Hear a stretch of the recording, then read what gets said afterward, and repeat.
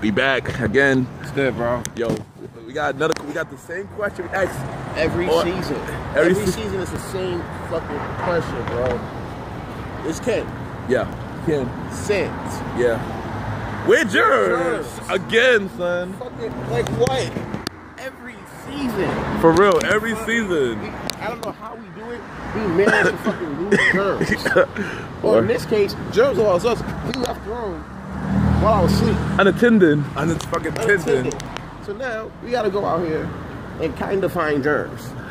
So it's this APB on where's Jerems. So Oh, if boy. you see a dark shaded figure coming your way, notify us on our IGs, Aaron Sands Premiere, and Ken underscore Mr. Gentleman.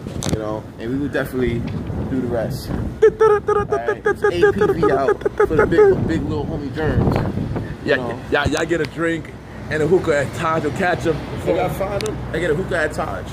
Yeah, and a bottle maybe. You share a bottle with us. oh yeah, you get a hookah at Taj. Okay, I'll get Taj. Facts. Fine. Hi, yo. Okay. Chill. We got Harris tonight. Harris tonight, the cannon. doing his thing out there, DJing and hosting. Facts, y'all facts. We're ready. Facts.